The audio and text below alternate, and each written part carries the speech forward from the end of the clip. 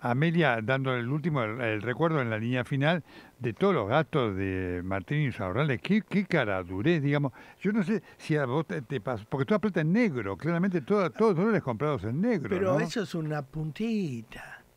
Esa es Sí, una puntita claro, de lo que se claro, han claro, afanado. Eh, Pero eso, es Totalmente. Isaurralde y un montón de intendentes y gobernadores más. ¿eh? Otros, por supuesto, por supuesto. Este Entonces- lo, lo pescaron. Eh, eh, a mí recién me hicieron un reportaje en la puerta y me dijeron, ¿qué opinas de Isaurralde? Y le dije que es un hijo de P. Y bueno, es lo que siento. Claro, claro, dije la palabra, no la voy a decir acá por respeto a vos. Sí, pero lo sé, lo di- sé, dije la sé, palabra porque, eh, ¿sabes qué pasa? ¿Qué, vas a- ¿Qué metáfora vas a buscar de un tipo como? Sí, claro, Despreciable, difícil. un tipo despreciable, ¿eh? que anda haciéndose el Snoopy por la vida y después tiene Sí, una sí. doble vida con la guita nuestra. Pero así Totalmente. cualquiera. Sí, sí. No, Escucha, pero impresionante, impresionante. No, no. eh, eh, el nivel de gasto que estamos. con- Lo, lo que ha sido ese, entre comillas, desliz, porque si no hubiera sido por la foto de esta chica Sofía Clerici del, del yacht, no nos enterábamos de nada. ¿eh? y- pero nosotros tenemos la justicia en manos de las acompañantes. Bueno, claro, claro. De- Esto, precisamente además le decía a Amelia, ¿no? Un año pasó de la denuncia. Recién el juez ahora se preocupa, le da 10 días para que explique los fondos, los motivos, por favor. Y bueno, ya le ayudó a acomodar el resto. La verdad, Claro. eh, hay que comer, hay que comer. A mí cada vez me invitan menos, debe ser por las cosas que digo. Sí. Pero hay que comer con diputados, senadores y jueces. No, uh, no, eso, eso es insalubre. Es inmoral. Sí, sí, sí, sí. Los contubernios, los No, no, abrazos y los besos al juez de la causa sí. y al acusado. Sí, che, veamos, no por lo tuyo. Dale, dale, ¿cómo va? No, déjamelo, déjamelo que va a andar bien. Increíble. Es así. Increíble. No, no, no. Yo Mm, presencié cuando eh, Yarvide, Mira, o Yarvide, en la misma mesa que estaba yo, tenía que salvar a una persona que no, no, tiene por, no tengo por qué decirlo, porque había heredado un quilombo de pase de gobierno a gobierno y lo había procesado.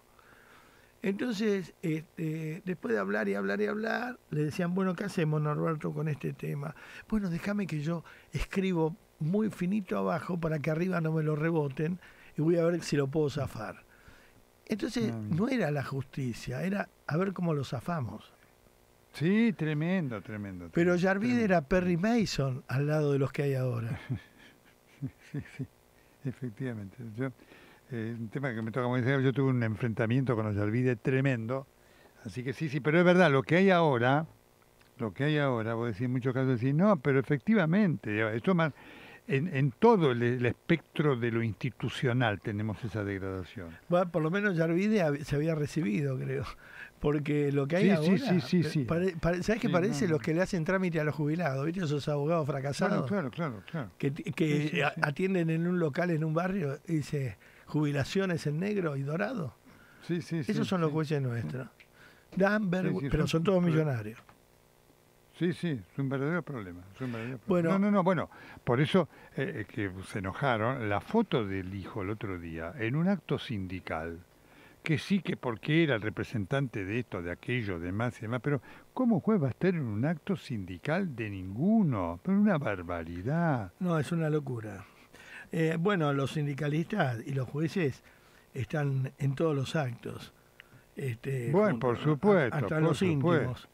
¿No? Por supuesto. Que también por tenemos supuesto, que- por supuesto. Que, que- que es un tema que este gobierno que tiene que tener en cuenta. Es decir, por ejemplo, la justicia laboral mayoritariamente está copada con el, por el kirchnerismo porque durante el tiempo de Cristina con Recalde nombraron todos jueces afines al kirchnerismo. Vos sabés que hoy me mandaron un video de Milei en la pizzería que rompieron ayer. Sí, sí. Y me dice, mira, bueno, chicos, tampoco, si el tipo va a saludar a la pizzería porque va, si no va, porque no va, tampoco hilemos tan finito, ¿no es cierto? Porque ah, eh, hay mucho operando acá atrás, Nelson, ¿eh? Hay una Por rufla, supuesto. ¿entendés? Por supuesto. Eh, tampoco hacer, hacerse eco de los golpes bajos. Y hoy Por supuesto. la noticia es que el costo de vida, la inflación es 3,5, ¿no? 3,5%. que es un logro.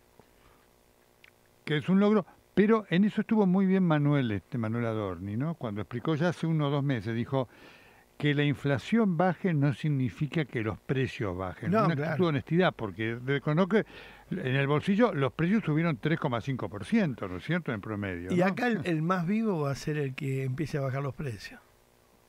Correcto, correcto. El que venda barato se hace rico. Y sí, sí, efectivamente. ¿Entendés? Porque, porque eh, en todos lados, en todo el mundo, pasa así.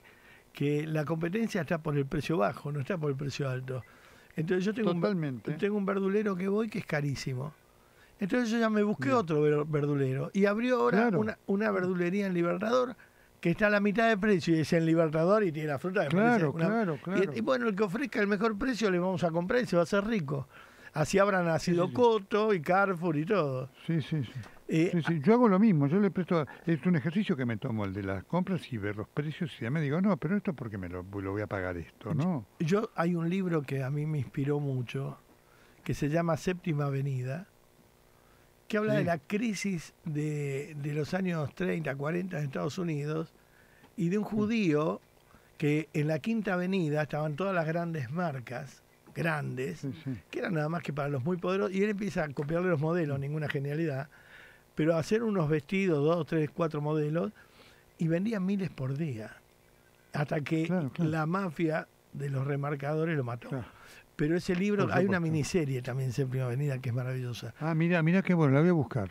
Y, y te voy a contar, y yo tenía negocio de ropa, y empecé a fabricar Mirá. una campera a venderla al costo en la época de Alfonsín. Ah, Mira, Y entonces, como la vendía al costo y en efectivo, sin tarjeta, ponía la plata a trabajar una semana. claro. ¿entendés? Y me autofinanciaba y ganaba mucha guita y vendía mucho, mucho, y daba laburo a mucha Mm. gente. Es más, daba laburo a bolivianos, peruanos que tenían talleres Mira, mira. y nunca se habló del, del trabajo esclavo.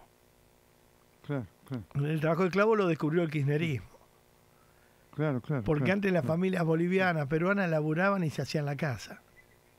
No, no, y son gente muy trabajadora. Muy, los muy. Eh, Los japoneses, los chinos.